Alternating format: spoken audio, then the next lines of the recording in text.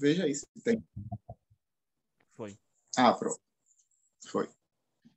Vamos lá. Vamos começar para fechar logo isso. E, enfim. É, boa tarde novamente. Jackson está aqui me acompanhando, meu querido camarada. É, o nosso mini curso hoje é sobre a aplicação do calendário de lutas da FEME e também sobre formação de outros calendários de lutas, né, dentro dos nossos centros acadêmicos, das nossas entidades de base, é, dos nossos DCEs, enfim. Nas, nas entidades que a gente atua, a gente vai estar tá aí formando esses calendários e vamos estar tá refletindo um pouco sobre a importância política dessa formação. É, eu vou me apresentar primeiro, eu sou Lismar, sou historiador já formado pela Universidade Estadual de Santa Cruz, a UESC. Hoje eu faço mestrado em História Social pela UF, da Universidade Federal da Bahia, Sou parte é, da Secretaria-Geral da FEMEA, através da Secretaria de Combate às Opressões, e meus estudos atualmente se voltam para comunidades tradicionais negras, tendo como centro a população de terreiro do bairro do Pontal, aqui em Léus, suas memórias e formas de resistência.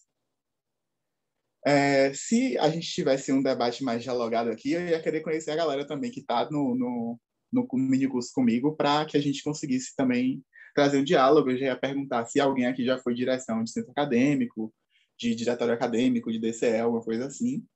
E eu se alguém também pode. É, exatamente. é, e se alguém também fazia parte da, das regionais da FEME, né? Para ver se a gente conseguia dialogar um pouco mais sobre isso. É, eu trouxe aqui uma emenda e uma, uma emenda e uma metodologia para esse curso.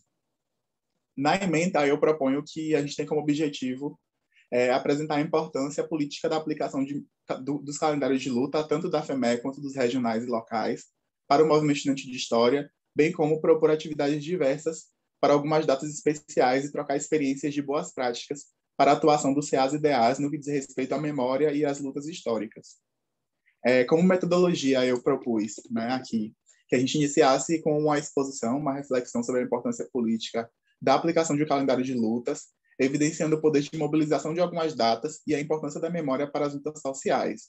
Após isso, iniciaríamos uma discussão aberta sobre as diversas formas de aplicação do calendário de lutas da FEME e dos calendários regionais e locais, trazendo dicas de como eles podem ser montados.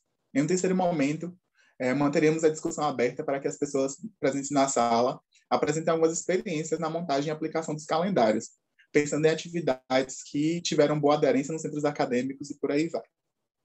É, enfim, eu já tinha proposto isso de forma bem dialogada, justamente para a gente poder trocar essa, essas ideias, trocar essas experiências que a gente teve nos nossos centros acadêmicos.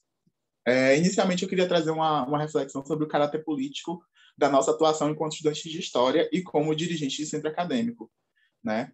É, o nosso papel ele não é apenas institucional, cabe dizer isso, deixar isso bem evidente é, o papel tanto da FEME quanto dos centros acadêmicos, diretórios acadêmicos de história, também é um papel político. E é um fato que a gente precisa é, se afastar cada vez mais de uma perspectiva da história enquanto um estudo das datas.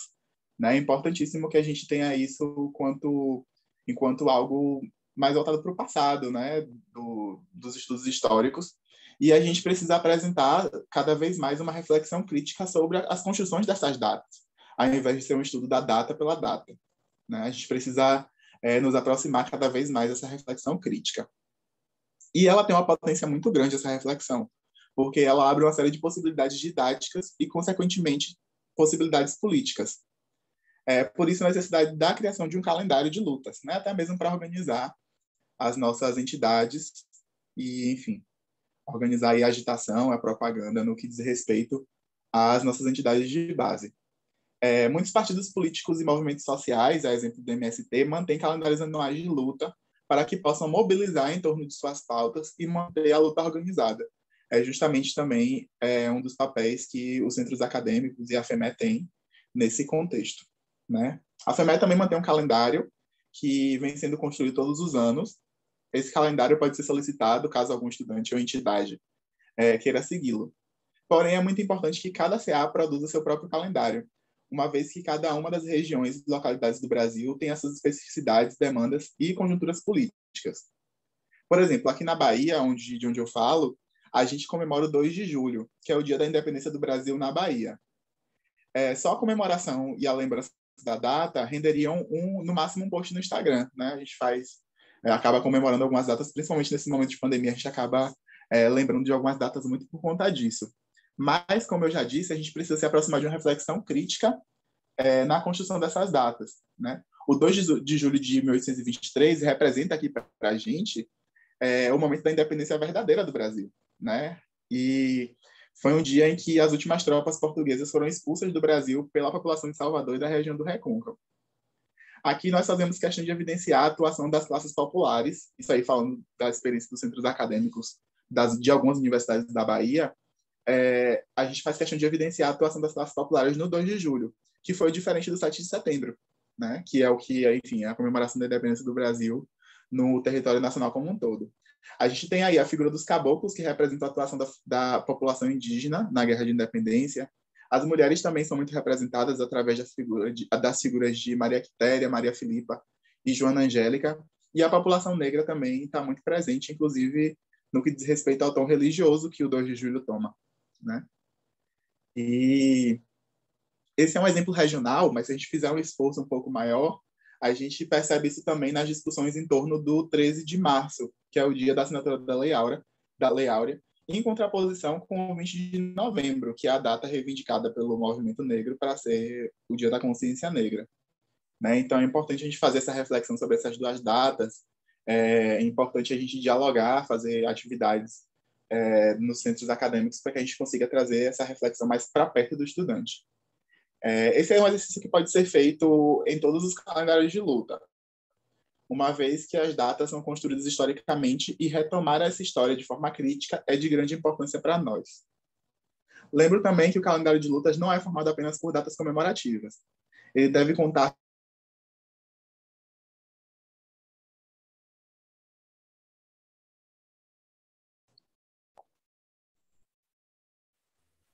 Deu uma quedazinha. Eu... Você parou e ele deve contar. Eu acho que eu caí. Será que voltei? Voltou Jackson? sim. Tá? Tô vendo. Ah, pronto. Caiu bem rápido. É, foi bem rápido, né? Ainda bem. É, deixa eu voltar para onde é que eu estava. Só um momento. Hum, Tava falando das da importância das datas. E... Isso. Enfim, esse é um exercício que pode ser feito na criação de calendário de lutas. É, e não é só construído com datas comemorativas, né? Também é, a gente precisa contar com os dias de mobilização, os dias de conscientização, os dias do orgulho e os dias de luta, né? Como diz a música, dias de, dias de, dias de luta, dias de glória. Algumas datas são conjuntu- con- conjunturais também, é importante a gente deixar claro isso. E é importante que fiquemos atentos a isso. Por exemplo, aqui na Bahia, a gente tem alguns dias estaduais de mobilização pela permanência estudantil nas universidades.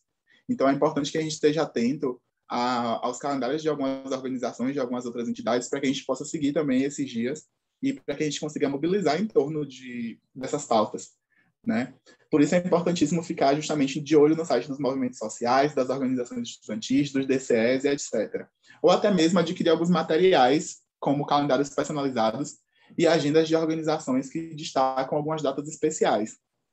Né? Se não me engano, o MST produz calendários específicos. É, aquela... O nome da garota? Esqueci agora. Ah, é, a Sabrina Fernandes, do Tese 11, no canal dela também, produz alguns calendários personalizados que são vendidos no início do ano. É, algumas fundações também é, vendem agendas personalizadas que têm datas lá destacadas, enfim, com a história das datas e tudo mais. É, enfim, por fim, eu enfatizo novamente a importância didática de algumas datas e a importância dos calendários de luta para organização e mobilização. É, por isso, eu deixo aqui um chamado para que a gente saia do conforto de construir apenas posts no Instagram e comece a pensar em atividades que estimulem a mobilização e a politização dos estudantes. É, de início, essa é a reflexão que eu queria trazer. E aí, a partir daí, eu queria que a gente exercitasse a criatividade, a gente, eu e Jackson, que é quem está aqui agora, que a gente exercitasse um pouco a criatividade para pensar em algumas ações práticas para aplicar nos nossos calendários de luta. Para isso, eu separei três datas específicas para que a gente consiga juntos é, pensar em algumas atividades práticas. Essas atividades podem ser online ou presenciais. É preferível online por conta da, da pandemia, né? Mas essas atividades podem ser rodas de conversa, lives, mesas redondas, plenárias, reuniões, atos, panfletagens, oficinas, colagens de cartazes, exposição, exposições, cine debates, enfim, vamos ser criativos. Eu vou ter aqui. E aí eu coloquei três datas, escolhi três que são bem é, interessantes assim para a gente estar tá trazendo algumas atividades para dentro dos centros acadêmicos. E a partir disso eu trouxe um tom meio que de oficina, né, para a gente pensar juntos é, em algumas atividades interessantes para esses dias. O primeiro dia é o Dia do Estudante, 11 de agosto. O segundo é o dia 8 de outubro, que é o Dia do Povo Nordestino. E o terceiro é a data do, do, do assassinato da Marielle Franco, que é 14 de março. É... Enfim, para o Dia do Estudante. Você pensa em alguma atividade? Tem alguma atividade, Jackson, que você fez aí no, no Rio, nessa época, que mobilizou bastante? Você lembra de alguma coisa? Cara, o Dia do Estudante, se eu não me engano, é a morte de Edson Luiz, não é isso? É o quê? É a morte de Edson, é a morte de Edson Luiz, não é isso? É, sim. É, a mesma data, né? A gente, assim, aqui no Rio, por exemplo, a gente não foca, não, não, não, não, não, nunca viu um trabalho assim bem feito sobre o Dia do Estudante, vamos dizer assim. Mas há uma, uhum. uma, uma gama de possibilidades pensadas. Por exemplo, a gente tinha tentado fazer uma reunião reunindo todos os centros acadêmicos do Rio de Janeiro. A ideia era fazer um grande evento para discutir memória do movimento estudantil, discutir as nossas lutas e tudo mais. Só que é aquilo, né? Nem sempre tem a participação de todo mundo, mas a ideia, no geral, é muito boa. Tipo, você reunir os estudantes, as representações estudantis, fazer um grande evento pensando nisso, né? Para você debater o movimento estudantil, a luta do estudante hoje, é, não só a luta histórica, mas os problemas que a gente vem vivendo hoje no país. Acho que seria uma ideia legal. Uhum.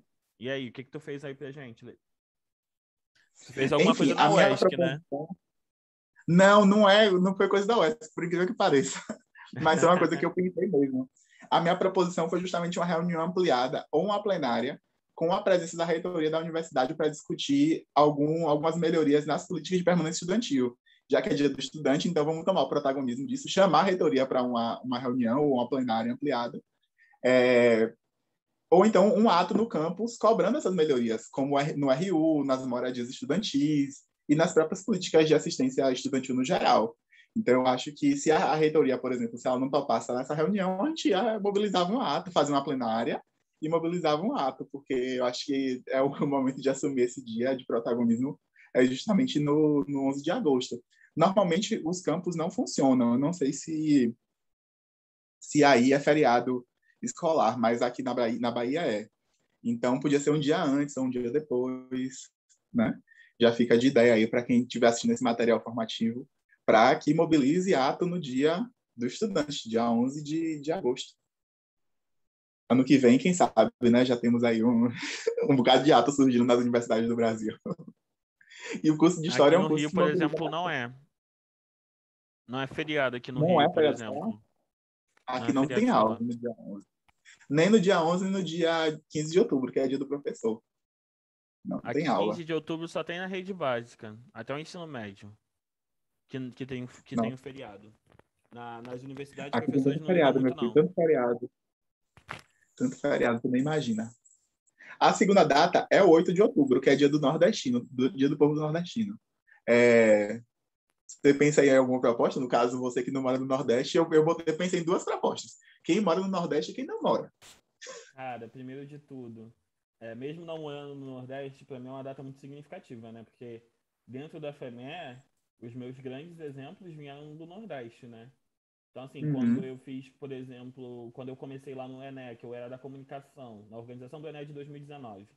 Quem me orientou foi o Diego, que é da UES, se eu não me entende. Então, assim, uma referência muito uhum. grande para mim. É, Luiz Sérgio, da UFPI, Emerson, da UFPI, trabalharam comigo, pessoas sensacionais. Tereza, é, tem Silvia, tem Dom, sabe? Uma série de pessoas incríveis que norteiam o meu trabalho. Tanto que quando eu avalio o movimento estudantil de história, eu vejo o Nordeste como coração pulsante da federação, sabe? É o pessoal que realmente bota para acontecer. E aí, por exemplo, eu no meu pensamento aqui de não nordestino, né? Eu falaria primeiro é, sobre a questão do é até uma arte que eu queria fazer do ano passado, que quando o Bolsonaro atacou os nordestinos, né? chamando todo mundo de Paraíba, assim, generalizando. E aí eu falei, eu, eu pensei, gente, uma campanha, o Nordeste construiu o Brasil, sabe? Pensar nessa ideia. Foram os nordestinos que construíram a capital federal. O Sudeste, boa parte do que a gente tem no Sudeste foi construído e ainda é construído. Os melhores pedreiros do Sudeste são nordestinos. Então, assim, são pessoas que realmente trabalham nessa. que, que construíram o Brasil. Sabe? É um povo que está sempre migrando, está sempre descendo, está sempre indo para outros estados trabalhar. É o que move muito a economia. Então, pensaria nesse ponto. Um outro ponto também que eu faria seria uma homenagem, por exemplo, à, à galera da Secretaria-Geral, que é do Nordeste. Então, é, igual a gente fez com as mulheres negras e caribenhas, que a gente botou a foto delas todas, elas, elas juntas né, construíram um texto, foi muito legal isso. Elas construíram um texto, né? Cada uma construiu uma parte de um texto, elas construíram. E aí a gente postava uma foto delas com parte daquele texto. Uma, uma foto delas na parte daquele texto. Então ficou bem interessante também, gostei. Acho que eu usaria essa técnica também. Suas proposições são muito boas. Eu propus aqui é, uma roda de conversa com alguns estudantes que tenham nascido no Nordeste e que sejam imigrantes para falarem sobre suas experiências morando em outras regiões é, e também falarem falando, falando sobre o combate à xenofobia. É, eu acho bem interessante isso para a, a, galera que mora, né, para universidades que são fora do Nordeste, justamente para a gente conhecer o cotidiano desses estudantes, como é que eles foram parar lá, né? Ele, a, a família veio junto, é, ou eles foram morar sozinhos nos seus, né, nas suas cidades. Para eles foram para estudar e trabalhar, foram só para estudar. Enfim, é, é, bom a gente conhecer as vivências desses estudantes, as, as experiências desses estudantes, para que a gente consiga, de alguma forma, ter mais empatia, às vezes, né? Às vezes falta um pouco dessa, desse se colocar-se no lugar do outro, é, se, enfim, calçar o, o sapato do outro para saber onde essa pessoa andou. Né? Então, eu acho bem interessante fazer essa roda de conversa, falando sobre isso, falando sobre, enfim, a cultura do Nordeste, como um todo, é, é muito difícil falar, enfim, de forma geral sobre a cultura do Nordeste, que ela é muito diversa. Mas, em, especificamente da região que esse estudante veio, né? Por que, que ele saiu daquela, da, daquela localidade? É, ele foi atrás de, de, de é, possibilidades é, de estudo, de trabalho, enfim. Tem uma série de, de fatores que podem ser discutidos sobre isso. E eu acho que trazer um estudante imigrante é bem interessante. E Outro... se for fora do e, a, se, se, for dentro do Nordeste, né, se for alguma universidade aqui do Nordeste, a gente pode fazer uma amostra de cinema, por exemplo, com diretores nordestinos, como Glauber Rocha, enfim, dentre outros diretores de cinema nordestino. Eu gosto muito desses cines de debate, né? A gente pode fazer uma alguns dois, três dias de exibição de filmes com a discussão no final e tal, ou até mesmo convidar algum diretor, né? A gente sabe que diretores e diretoras estão por aqui, né? Circulando entre nós. É, a gente pode convidar para, enfim, estar tá falando sobre suas obras, sobre o audiovisual, né, sobre documentários e tal, e até mesmo ficção. Então, eu acho que dá para trazer essa data como uma data bem emblemática, assim, no, no calendário de lutas. Um outro ponto que eu, também, vale outro ponto que eu traria também para contribuir, até proposição, até pra, pra, por exemplo, a FEMA Nordeste poderia fazer isso, a FEMEA Norte e Nordeste é fazer nove dias de Nordeste, né? São, são nove estados. E aí, pensando nessa cultura é, que o Nordeste. Porque as pessoas têm uma visão muito generalizada da cultura nordestina. A cultura nordestina uhum. ou é festa junina, São João, ou é forró. Assim, uma visão de fora do Nordeste que eu trago, né? Então, assim, parece que é tudo muito uhum. redundante, parece que é tudo no mesmo lugar, parece que é tudo a mesma coisa. Não, não é. São momentos muito diferentes da cultura nordestina. Por exemplo, tem a cultura do interior, a cultura da cidade, são espaços diferentes. E aí, se você pensasse, por exemplo, nove dias de cultura, e aí você poderia trazer, por exemplo, um estado por dia. Então, falar, por exemplo, da Bahia. Quais são as principais festas da Bahia? Quais são as principais atividades culturais? Quais são os principais nomes da, da cultura baiana? Então, é, sei lá, até os times de futebol baianos que são grandes pra caramba e combativos, né? São times combativos. É, a gente uhum. sempre vê Bahia, Bahia lá na frente. É perigo, às vezes tem um confronto do Bahia, né? Mas de resto, assim, é, é, o Bahia, por exemplo, eu vejo que é um time muito à frente do, dos outros, por exemplo, sempre se posicionando, sempre uhum. se colocando. Isso é importante de ressaltar. É, ressaltar também a, pode se ressaltar também o quesito de educação, porque se você pegar os rankings de Olimpíadas de educação que a gente tem, o Nordeste está sempre nos primeiros lugares. As escolas do Nordeste são referência é, em todos os campos. Inclusive, eu me assusto. Eu achava que os estudantes, por exemplo, do Rio de Janeiro fossem muito academicistas, mas às vezes eu vejo o pessoal, os estudantes do Nordeste, eu me assusto com a capacidade de produção que eles têm. Produção acadêmica. A galera do Pernambuco, meu filho, você precisa Nossa, ver, aquela FPE é loucura total eu estava escrevendo minha monografia, né? Aí eu perguntei pro Luiz, Luiz, quanto mais, Luiz Sérgio, quanto mais ou menos tem uma monografia? Ele falou assim, ah, minha monografia tá com mais 60 páginas. Eu falei, meu Deus! então, assim, é, é, é, um nível de produção acadêmica muito alto, discussões muito relevantes. A discussão do, do sudeste centrismo é muito, muito interessante aí que vocês fazem. Tipo assim, uhum. vocês, a, a, a, questão, por exemplo, de história do Brasil ser história do Sudeste, basicamente. Entendeu? E os eventos do Nordeste, por exemplo, serem colocados em segundo plano sempre. Isso são questões que podem ser trazidas também. Sim, com certeza. Muito bem observado, Jackson. Acho que é um dia mesmo para a gente refletir. Eu gostei muito da ideia dos nove, dos nove estados, dos nove dias diferentes. É, dá um trabalhinho para fazer, mas eu acho que com um esforço interessante, se a gente conseguir é, mobilizar bastante. Eu acho que é uma, uma data que pode mobilizar muito, assim.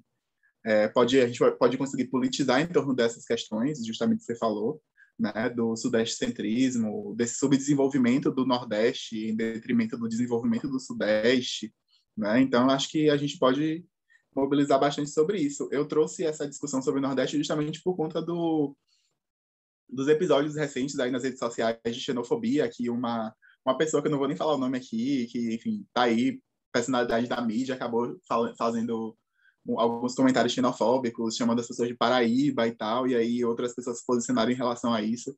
E realmente a gente precisa, precisa politizar ainda mais essa discussão, não pode ficar no âmbito superficial, a gente não pode ficar no, no, limita, no, no limiar superficial, a gente precisa ir mais a fundo nisso.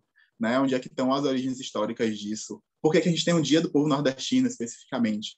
Né? Eu acho que uma reflexão crítica sobre isso vale muito pena. Quem puder aí nas suas universidades levar esse, essa discussão à frente vai estar, é, tá, enfim, ajudando bastante nessa, nessa discussão, enfim, é isso. É, e a terceira data é uma data triste, inclusive, mas aí eu vou ter que trazer uma, uma, uma experiência da UESC, que é a data do assassinato da Marielle Franco, que é 14 de março. É, eu vou falar primeiro, aí você fala depois, tá, Jackson? É, a minha proposta é a realização de uma mesa redonda com representantes de movimentos sociais para falarem sobre a conjuntura de violência política e sobre a criminalização dos movimentos sociais, trazendo inclusive algumas memórias relacionadas à ditadura civil-militar no Brasil.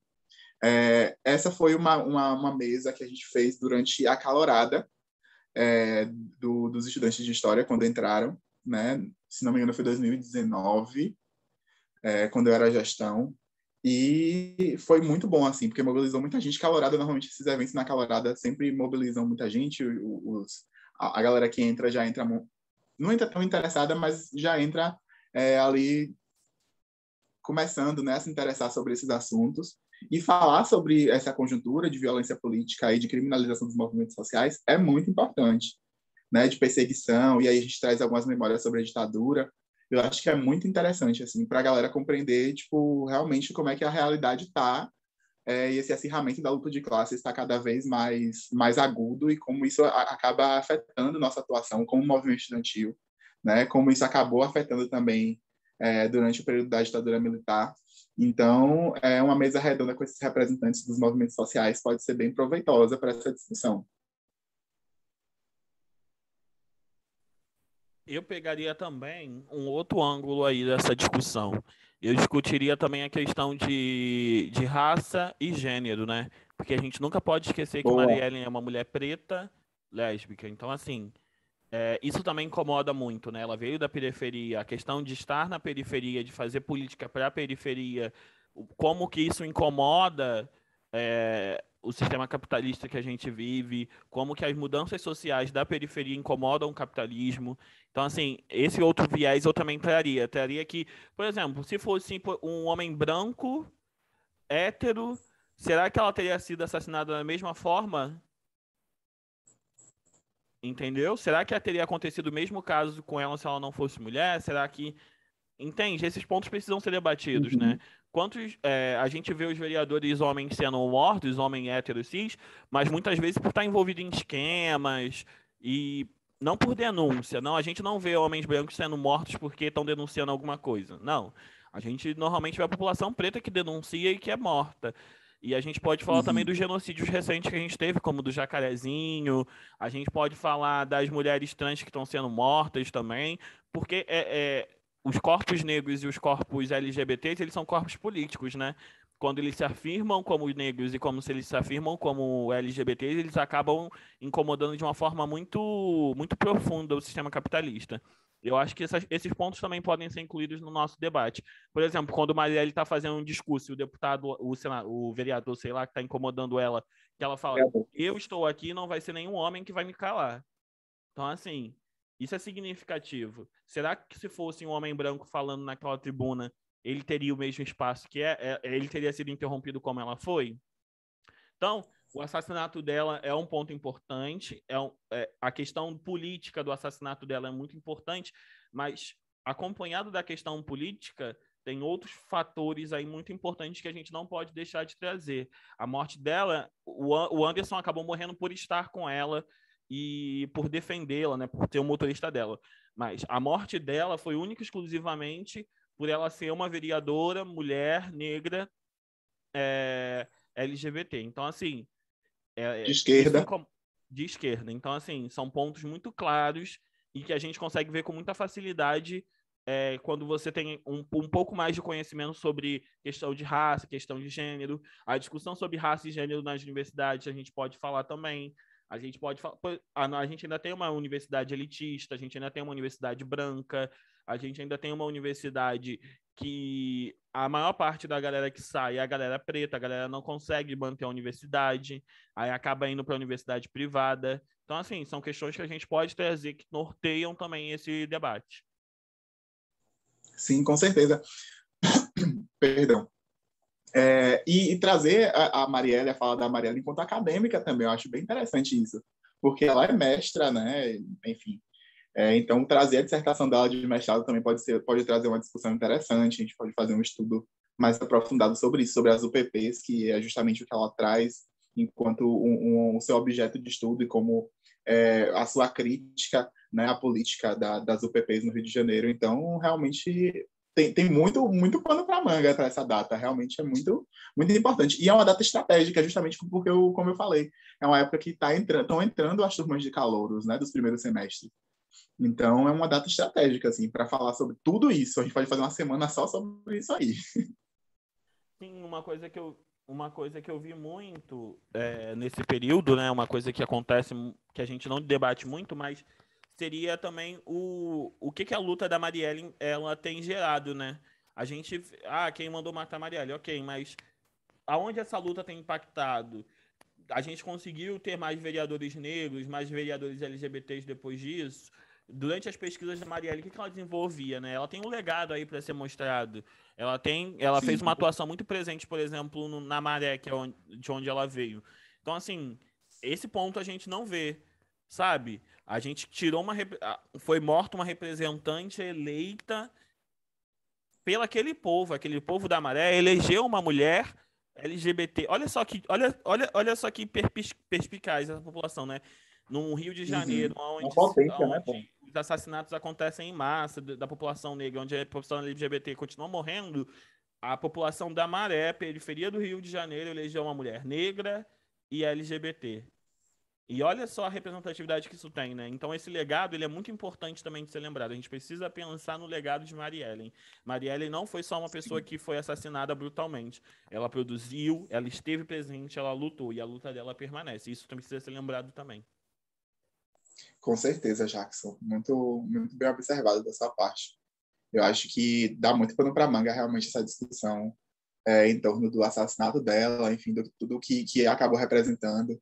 Né? Então, uma, semana não é suficiente para a gente esgotar tudo, né? toda essa discussão. É, eu ia parar com a terceira, essa terceira data, mas eu acho que dá para a gente pensar. Inclusive, eu falei do Dia do Professor, e aí eu lembrei que é, eu estava conversando com uma pessoa, se não me engano, é uma pessoa que está na UESC ainda, não lembro quem foi. E essa pessoa estava falando da importância da FEME começar a discutir, né, reativar essa discussão sobre emprego. No, e a gente podia usar o dia dos professores e professoras no dia 15 de outubro para isso. Né? A gente podia falar sobre é, como, como estão as perspectivas ou as poucas perspectivas de empregabilidade para quem se forma em licenciatura em História ou bacharelado em História. São poucas universidades que oferecem bacharelado, né? A grande maioria são licenciaturas. Então, acho que a gente pode reativar, a gente pode dar um gás aí nessa discussão sobre emprego na FEME a partir do dia 15 de outubro. É, eu vou até trazer para algumas das reuniões da Secretaria-Geral para a gente estar tá discutindo isso com mais, mais tranquilidade, mas acho que o dia do professor e da professora no dia é, 15 de outubro pode ser bem potente para isso, sabe? Sim, perfeito. Sua fala é perfeita. É, não, eu acho que a gente pode falar também sobre a questão da, da regulamentação da profissão do historiador, quais são as, a, a, a, as novas áreas que se abrem a partir disso, né? quais são as construções que se abrem a partir disso. É, a gente tinha, na, a FEMELA tem um alguns registros do grupo de trabalho sobre é, mundo do trabalho. A gente até tentou re restaurar, tal, fazer o grupo voltar a funcionar, só que é muito difícil, né? Assim, de uma forma geral, a participação dos alunos tem sido bem precária. Às vezes as pessoas uhum. falam, ah, o FME podia fazer isso, o FME podia fazer aquilo. Mas, por exemplo, num mini curso como esse hoje, que está discutindo um ponto tão importante, a adesão baixíssima, sabe? É, a gente tem discutindo, tido vários mini cursos discutindo temas diversos, com participação baixa. A, a, participação dos estudantes nos próprios eventos da entidade é baixa, é, comparado, por exemplo, a outras entidades bem maiores e tal. Então, assim, é, ainda se vê dentro do movimento estudantil de história um individualismo muito grande por parte dos estudantes. É, tudo bem que o mercado de trabalho é um foco, mas ele não é, ele não é a única coisa que a universidade tem. Claro que a gente precisa, é, é muito importante debater o papel do professor hoje, no dia de hoje, é, com as mudanças tecnológicas que a gente tem. Agora a gente não tem só um professor, a gente tem que ter um professor que entenda muito bem de informática, que consiga fazer uma videoaula, que seja editor, que seja roteirista, é, tem uma série de questões aí que a gente tem. A gente tem a precarização do trabalho do professor com terceirização, a, é, a gente tem precarização do trabalho do professor com com aquela questão, com ensino, com ensino híbrido remoto, que você grava uma aula e você veicula isso para várias pessoas e você acaba recebendo um salário só. Você ministra, sei lá, seis, seis, sete turmas e acaba recebendo por uma turma só, só um salário. É, e professores, principalmente na iniciativa de privada, são muito descartáveis, né?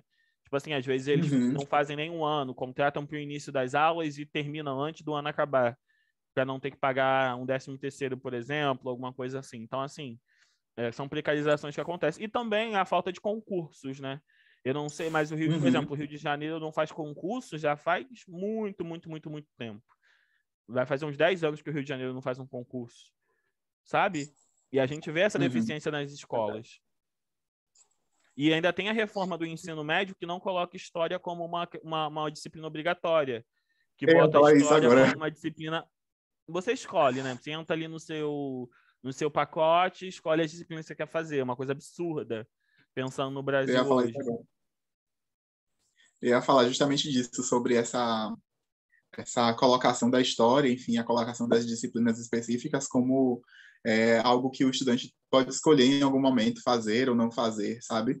E isso acaba tornando o caráter do professor cada vez mais descartável, como você falou, né? Uma vez que os livros didáticos já estão vindo naquele sentido de ah, história é, não está vindo mais livro didático de história, geografia, ciências sociais, filosofia e tal, está vindo tipo um blocão, um livro didático em bloco sobre, sei lá, ciências humanas, sabe? Então, não tem mais uma divisão específica. A gente lutou tanto por é, por ter a história como uma disciplina específica, com um método específico, né, com um método de ensino específico, inclusive, para que em algum momento aquilo se fundisse novamente em um livro didático, sem uma discussão ampla sobre aquilo, e fosse vendido, inclusive, como algo inovador, né, algo que, enfim, já funciona lá no exterior há muito tempo e tal, a gente tem que implantar isso aqui também, e essa discussão não foi feita, né, e eu ia falar outra coisa agora, só que eu esqueci, deixa eu lembrar aqui. É... E, enfim, é justamente sobre isso. Ah, e também, é, Jackson falou sobre a questão do, dos, dos concursos, é justamente o que eu ia falar. É, para tapar o buraco do concurso, eles estão fazendo a questão do REDA, que eu não sei como é que é aí no Rio. Mas aqui é um contrato temporário que as pessoas fazem um processo seletivo. É um contrato com um salário baixíssimo, porque, enfim, é um regime específico. E aí a pessoa é contratada por dois anos, e aí pode renovar para mais dois. E, enfim, fica, as pessoas ficam nessa a vida toda, sabe? Procurando um processo seletivo de REDA com salário baixíssimo em municípios, principalmente nos municípios, né? Que, que fazem isso é, não abrem concurso de jeito nenhum, e aí é uma, uma, uma, uma, uma possibilidade de, de economizar dinheiro com, com pagamento de professor, e aí eles falam que é enxugar a máquina pública, quando na verdade a gente sabe que é justamente uma, uma perspectiva de precarização do trabalho. Então, enfim, as perspectivas para emprego são bem complicadas. Mas acho que a gente pode reativar essa, essa discussão para que a gente consiga mobilizar ainda mais sobre isso, né? Sim, uma outra questão também que tem aparecido aqui no Rio, você falou do desse contrato, né? Aqui no Rio eles chamam de processo simplificado, né? Que é um contrato de um ano, seis uhum. meses, que pode ser prorrogado. E aí o que acontece muito aqui é apadrinhamento político, né? Um político que vai indicando as pessoas que estão ali, eles fazem um concurso Exatamente. só de fachada e não acontece. Eu fiz um concurso em 2019, pra, eu fiz é, curso normal, né? E aí que me dá a habilitação para dar aula de primeiro a quinto ano aqui no Rio. E aí eu fiz um concurso para a prefeitura da, da, da, minha cidade e eu tô há dois anos esperando para ser chamado. E aí a prefeitura, ela tem o déficit dela de professores, que chega, eu sou o número atualmente, eu sou o número 136 da, do concurso. E a demanda da prefeitura, ela passa de 200 professores P2, que a gente chama, né? Professores é, P2. E aí a, a, demanda passa de 200, só que eles não estão chamando, eles estão chamando de 20 em 20, entendeu? Tinha contrato, só os contratos foram suspensos por conta de iniciativa do Ministério Público, que obrigou a prefeitura a chamar o concurso. Aqui no Rio acontece muito do Ministério Público ter que obrigar as prefeituras. Inclusive, esse ano de 2021, se não tivesse tendo pandemia, a gente teria que ter, teria, quase todos os municípios do, do, da Baixada Fluminense, por exemplo, teriam que fazer concurso. Eles não estão fazendo contra a pandemia. A Prefeitura de Nova Iguaçu deve ter aberto de seis a sete editais só para seleção, seleção simplificada. E aí é aquilo, né? Não há uma transparência, você não sabe uma colocação, você não sabe como é que eles chegaram àquela colocação, não tem os critérios, os critérios existem, mas eles não são é, publicizados. Por exemplo, eu, fi, eu fiz para assistência social. Eles sai lá no diário oficial a sua nota. Mas como é que eu vou saber quem avaliou? Não sei quem avaliou a, a minha participação, não sei qual, em, que, que, em que lugar que eu tirei menos pontuação ou mais pontuação. Eles dão a nota lá e paciência. E aí você vê, sempre que tem, eles lançam a primeira lista, depois quando lançam a, a, lançam a segunda com os recursos, tem gente que estava no final da lista e passa para o começo. Então, assim, são questões que a gente precisa debater. É, como é, e tem gente que fica quieta, tem gente que está lá só curtindo, tem gente que tem padrinho político, então, assim, são questões que a gente precisa debater do mundo do trabalho, né? As nossas vagas elas estão sendo ocupadas por pessoas menos qualificadas, recebendo menos, em processos simplificados que não contribuem em nada e são pessoas mal remuneradas que não recebem todos os seus benefícios, ou seja, prejuízo para a sociedade. É, uma coisa Exato. também tem uma coisa que tem sido muito falada também é a estabilidade do. A gente tem agora vivendo a reforma administrativa, por exemplo, e aí estão querendo tirar a estabilidade dos professores, do, dos funcionários públicos, incluindo professores, né? E aí você tem essa. A gente pode fazer essa discussão também, porque, por exemplo, se você tira a estabilidade de um professor, qualquer pai que vai lá reclamar por um motivo que ele quer, por ele não concordar com o conteúdo, por exemplo, que talvez seja até um conteúdo programado e que ele não concorde, aquele professor pode ser descartado, aquele professor pode ser demitido. Quem vai fiscalizar, por exemplo, é, esse concurso? A, a pessoa pode ser demitida simplesmente por o gestor não gostar dela. E aí? A segurança do cargo, ela te dá a, a liberdade de cátedra, a segurança, no, no, a estabilidade que o concurso público te proporciona, ele serve também para o professor poder denunciar, denunciar uma diretora que não está cumprindo com as tarefas dela, denunciar os pais, por exemplo, o conselho tutelar, independente de quem seja esses pais. é, são questões que a gente precisa debater também enquanto mundo do trabalho. Sim, com certeza. É, enfim, a discussão é ampla também sobre, sobre trabalho, né, sobre emprego, e eu acho que vem aí. Talvez a gente consiga é, deixar essa, essa discussão mais redondinha para trazer para a FEME, né? talvez pelo, através do grupo de trabalho sobre mundo do trabalho, é, ou, enfim, em alguma atividade que a gente faça. Né? A gente ainda vai planejar ainda o, o quarto trimestre do, do ano de 2021, mas eu acho que isso aí pode entrar na nossa pauta. Né? É bem importante. E, enfim, para a gente encerrar, tem o terceiro momento que eu coloquei aqui, que é a hora da gente trocar experiências mesmo. Então, a gente pode falar é, como estão os nossos calendários de luta, se tem alguma atividade que é, a gente fez que teve uma participação ou deu muito certo, que mobilizou os estudantes e o que eles gostaram muito. E, enfim, é importante que a gente utilize mesmo para falar sobre as boas práticas, sobre atividades legais no nosso, no nosso curso e etc. É, você lembra de alguma data assim, específica, Jackson, que aí no seu, no seu curso mobilizou bastante os estudantes e tal? Assim, de uma forma geral, o meu curso ele é bem desmobilizado na questão política, né? É, eu acho que é um, tem acontecido muito com, com os estudantes de uma forma geral. Mas é, na gest... teve uma gestão do centro acadêmico que a gente fez aqui, que a gente fez sobre o Dia da Mulher. E aí eles fizeram um mega evento assim muito bem produzido, debatendo vários pontos sobre a questão da mulher na sociedade, que eu acho que mobilizou bastante. Foi além do curso de história, mas é, que foi muito, muito, muito, muito, muito, muito bem trabalhado. Outro ponto que a gente trabalhou aqui, que foi uma experiência legal, que a gente trabalha isso na semana acadêmica, não é uma data específica, mas a gente desenvolve uma atividade que é sobre a questão do assédio, né? Na, na universidade, de uma forma geral. Então, a gente tem a roda das minas e a roda dos manos, no qual a das minas a gente discute a questão do assédio, a questão do empoderamento, a questão de saber os limites, de saber por onde denunciar, de saber é, como evitar abuso, de saber reconhecer um abuso, porque às vezes a pessoa é sediada e nem sabe. Então, assim, são pontos que a gente tenta trazer.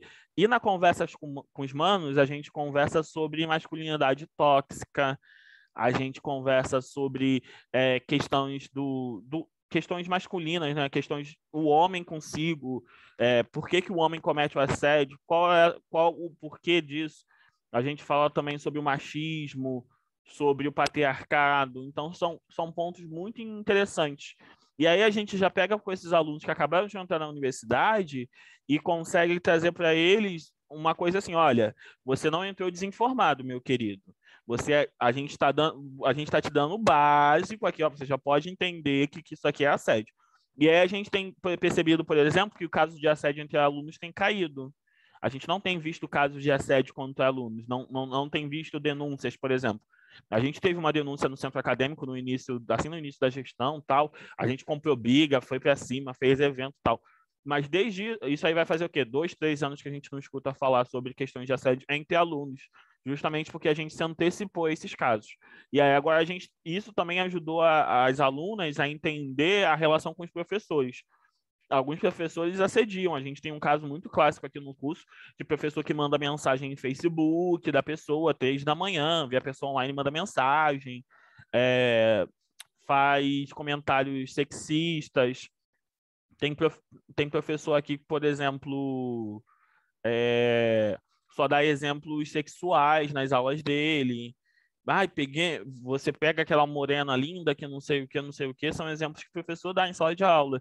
E aí a gente começa um boicote a esse professor, a gente começa a, a denunciar, a fazer vários questionamentos a isso, a levar isso para reunião de colegiado. Mas isso tudo parte daquela premissa inicial de que os alunos conseguem identificar um caso de assédio, conseguem se sentir seguros para denunciar. Então, são algumas ações que a gente tem feito que tem dado certo, que tem lutado junto com o calendário de lutas, né? Sim, muito boas proposições mesmo. E eu, eu gosto muito dessa Semana da Calorada justamente por isso. Eu acho que a gente dá esse básico e fala, olha, a partir daqui, a partir do que se avançar a respeito disso, vão haver consequências, o centro acadêmico vai estar atento a isso. Né? É importante que a gente é, pratique também é, a ouvidoria, né, dentro dos centros acadêmicos, quem puder instaurar uma ouvidoria para que as pessoas possam denunciar casos de assédio, casos de LGBTfobia, racismo, é, assédio moral, assédio sexual, de forma anônima para os centros acadêmicos, é importantíssimo que a gente instaure é, ouvidorias nos nossos centros acadêmicos. A gente sabe que as universidades têm ouvidorias dentro da, das reitorias, enfim, dentro dos departamentos, só que acaba funcionando de, institucionalmente, acaba funcionando com uma certa burocratização.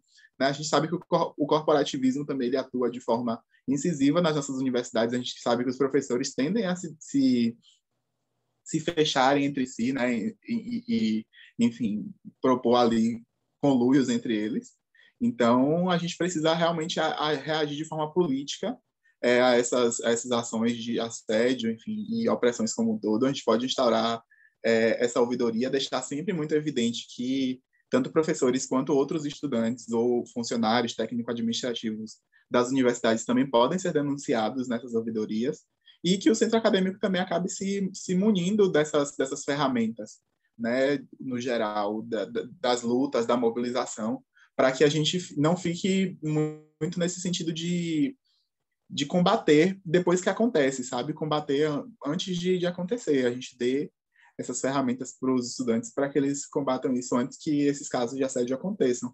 E como o Jackson colocou, realmente é, esses casos eles tendem a diminuir, né? Quando se tem essa essa discussão ampla, né? Eu gosto muito desse dessa dessa ideia. É, deixa eu lembrar aqui alguma coisa que deu certo. Eu já falei algumas que deram certo. A gente fez campanha contra o assédio também, calorada, fez campanha contra a LGBTfobia também. Uh, algumas datas regionais aqui também mobilizam bastante. A gente tem muitos dias estaduais de luta pela permanência estudantil, né? Então a gente acaba fazendo alguns eventos especiais assim. São algumas datas mais conjunturais. É, o curso de história pelo menos na minha gestão, mobilizou também muito para os atos, para os tsunamis da educação, que aconteceu em 2019. Quem lembra aí, quem estava aí no tsunami da educação. É importante que a gente mobilize nos centros acadêmicos para os atos também, por favor. A gente mobilizou também muito para o Ele Não, para o Vira-Voto na época do, do, das eleições de 2018. Então, é importantíssimo que a gente esteja tem, tenha noção desse papel político que o centro acadêmico tem, né? Que vai para além de um papel institucional. Uh, enfim, ah, na época do, do 31 de, de março, que foi 31 de março para o dia 1 de abril, é, que, enfim, foi o dia do golpe militar, em 64. É, a gente fez um sim debate com aquele aquele documentário Cidadão Boylerson.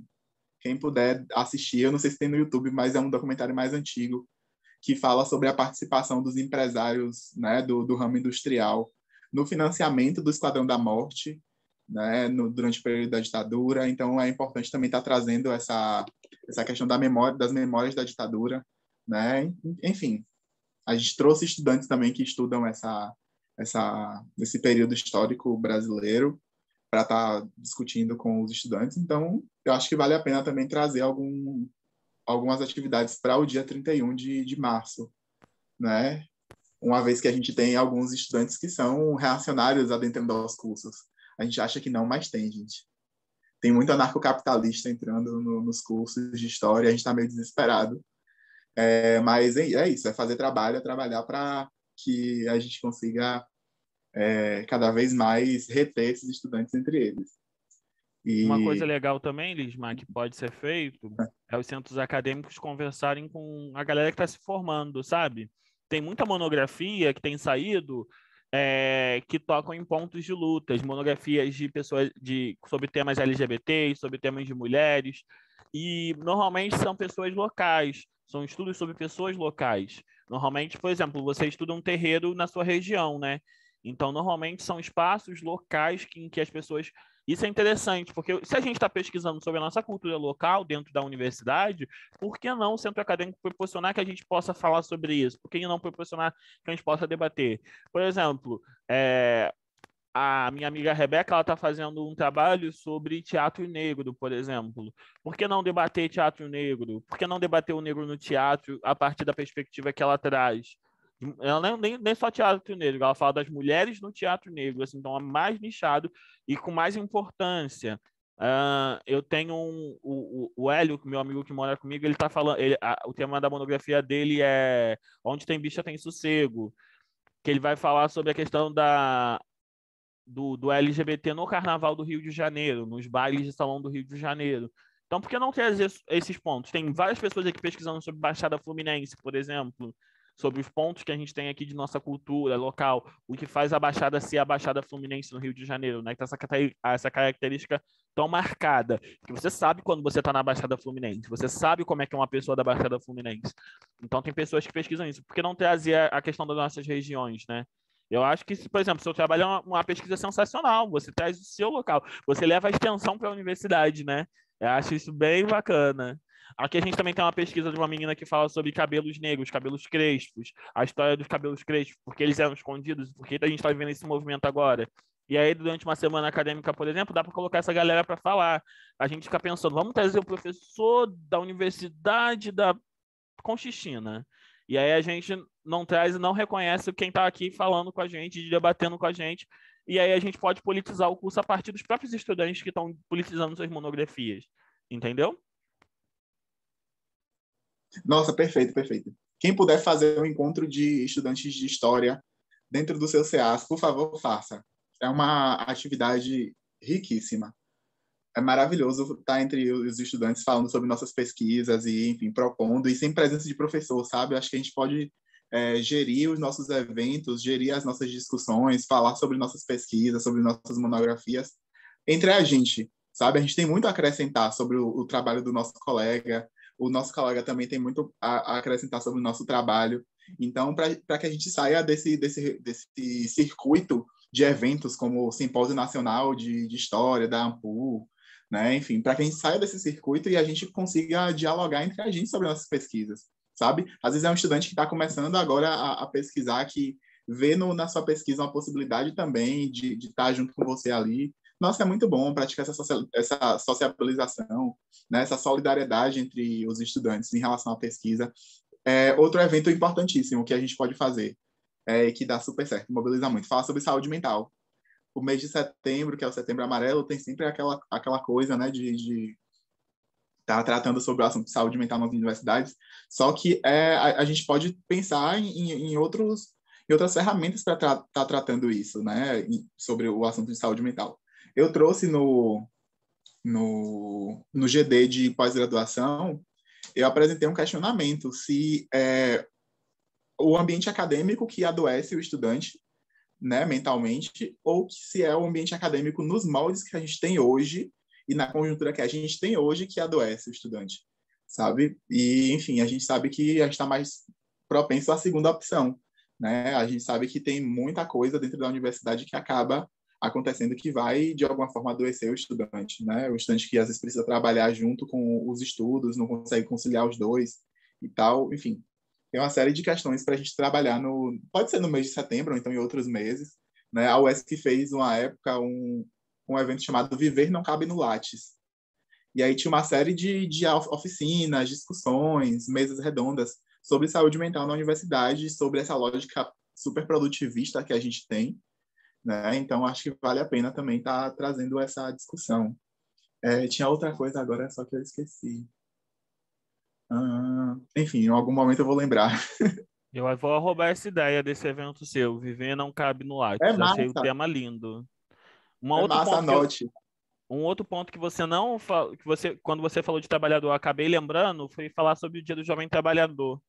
A gente da a gente da FEME fez, acho que foi Ano passado, a gente fez uma semana inteira sobre jovem trabalhador, sobre trabalhadores de uma forma geral, né? A gente começou com jovens trabalhadores, se eu não me engano, é, 25 ou 20, 24 ou 27 de, de abril. E aí você tem, dentro dessa semana, você tem empregada, tem o dia da empregada doméstica, você tem o próprio dia do trabalhador. Então, dá para fazer uma semana de atividade sobre o, o trabalho, né? Sobre os jovens trabalhadores, sobre a relação do jovem com a universidade. Sim, com certeza, com certeza, Jackson.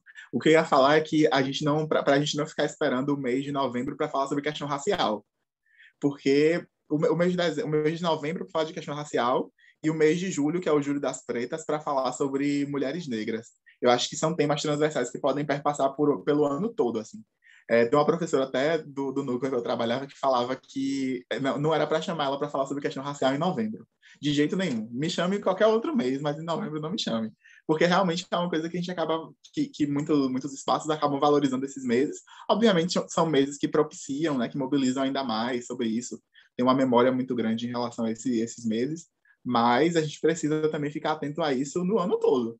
Né? A gente pode fazer eventos que sejam mais é, recortados, algum event, alguns eventos que sejam é, que falem sobre cultura popular, por exemplo, que tragam esse recorte de gênero, esse recorte racial, e é, que não sejam nesses meses. Né? A Ju, inclusive, que, tá, que é minha companheira de, de secretaria de combate às opressões, no, o mês de julho para ela é insuportável. Assim, ela falou que ela fica é, é saindo de um evento entrando no outro para falar sobre mulheres negras, né? porque dia 25 é o dia da mulher negra latino-americana e caribenha.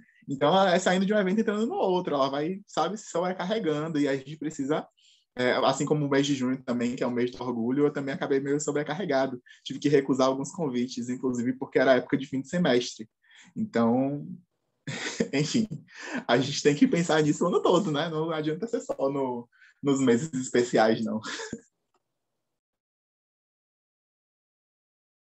um ponto importante que você tocou aí é muito centro acadêmico vai lá, muda logo, bota logo colorida lá, com a bandeira LGBT, mas não faz nenhuma ação em volta daquilo, não constrói nada, né? É, os, centros, os, outros, os centros acadêmicos eles podem estimular a criação, por exemplo, de coletivos de discussão, é, coletivos de pai e mãe, coletivo LGBT, coletivo de pretas e pretas. É importante, por exemplo, que na semana de integração os cursos apresentem, o, na semana de integração o, o centro acadêmico possa apresentar né, o que tenha dentro da universidade que faça essa discussão, é, grupos de pesquisa que também tenham na universidade fazendo esse debate, até porque ajuda, uh, ajuda a massificar o conteúdo, né? Um ou duas pessoas que vão para aqueles grupos, elas já conseguem ter uma outra visão e, e passar isso para a turma delas aos poucos, né? Então, assim, não adianta só mudar a bandeirinha, botar a bandeirinha LGBT e falar, ei, somos viado, e não, não ter nenhuma ação prática a partir disso, né? É, ser gay no Brasil, ser negro no Brasil é um ato de resistência, é um ato político, são corpos políticos. Então a gente precisa debater isso de uma forma mais ampla e contínua. Então a solução dos grupos e coletivos, os coletivos eles vão servir para dar apoio, para ser um espaço de aquilombamento, por exemplo, no, no caso negro, você vai conseguir identificar pessoas negras dentro da universidade e aí você vai ter mais tranquilidade para perguntar, para fazer trocas. Porque, porra, eu venho da, eu, eu venho da periferia, sei lá, venho vou para uma universidade. Aí me aparece um na grade, um prograde, me aparece um monte de cara falando que é coordenador da puta que pariu caralho de asa, e você vai saber com isso como. Um coletivo serve para isso, entendeu? Então, ajudar esses coletivos, trabalhar em conjunto com esses coletivos, construir com esses coletivos, é importante também. Acho que o centro acadêmico tem que pensar na universidade como ela é. Ele é um universo, não é uma, um planetinha centro acadêmico, não parcerias estão aí para se pensar fora da caixa, entendeu? O centro acadêmico não é responsável por fazer tudo, mas é o primeiro passo, ele representa os estudantes e tem que mostrar o melhor da universidade para os seus estudantes.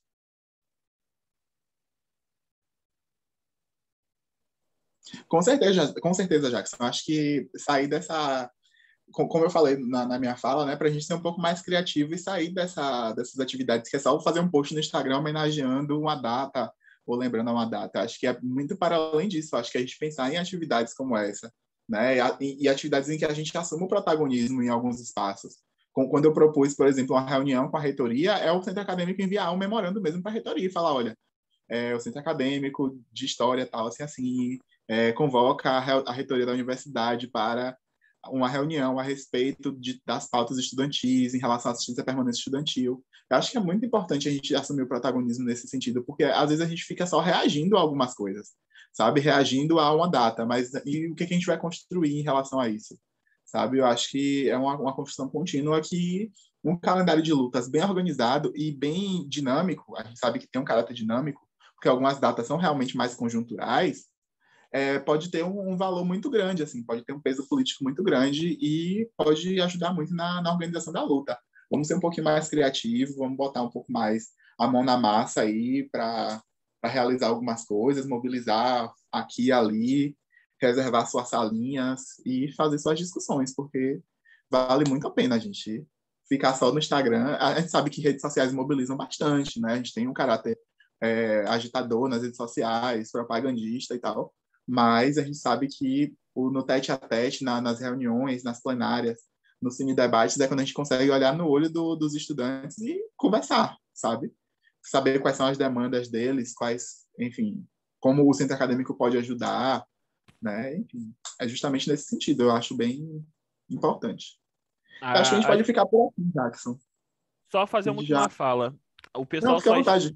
o pessoal só esquece que o centro acadêmico é uma construção coletiva, que a gestão ela foi eleita para representar os estudantes, mas ela não foi eleita para fazer tudo pelos estudantes, né? Eu acho que o, as pessoas precisam entender que o centro acadêmico tem sua importância, mas que os estudantes também precisam se mobilizar e construir junto. Não adianta o centro acadêmico, os centros acadêmicos fazer tudo isso que a gente falou e os alunos não colarem ou por coisas, por questões bobas e tal. Então, é muito importante que isso seja uma luta e uma construção coletiva. O calendário de lutas é para nortear a nossa discussão, para nortear, para trazer os nossos pontos principais. Porém, ele só vai ser efetivo e vai ser só vai ser conseguir ser aplicado se a gente construir ele de forma efetiva, né? Então era isso, Lismar. Obrigadão. Adorei conversar contigo. Eu agradeço, Jackson, pela ajuda aí. A gente fez um, conseguiu fazer um material formativo, pelo menos, caso seja necessário. E, enfim, entender que a FEME também é um, um corpo político coletivo, né? A gente está tá aqui na Secretaria-Geral, faz o nosso trabalho como a gente pode, a gente sabe que, enfim, a impossibilidade de nos, reunir, de nos reunirmos presencialmente acaba afetando um pouco a, a, luta, mas a gente vai se adaptando à nova dinâmica, vai fazendo esse exercício de praxis mesmo para que a gente consiga avançar nessas discussões. Porém, a gente também precisa da, da, da ajuda dos das estudantes de história, das entidades de base, para que a gente consiga, consiga cada vez mais dar corpo a esse sujeito coletivo que é a FEME, que são os estudantes de história.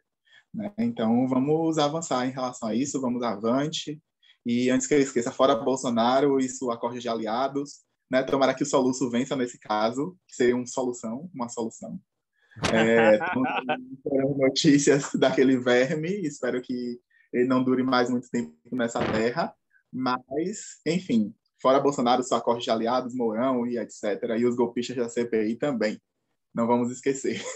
É isso. né? Então, é isso, gente. Quem assistiu aí, um, um abraço e contem com a FEME para avançarmos nessas lutas estudantis e, enfim, por uma sociedade justa e igualitária. E é para uma universidade popular sempre, né? Uma universidade popular sempre, para geral. Exatamente. Bem lembrado. Beijo, gente. Beijo, beijo.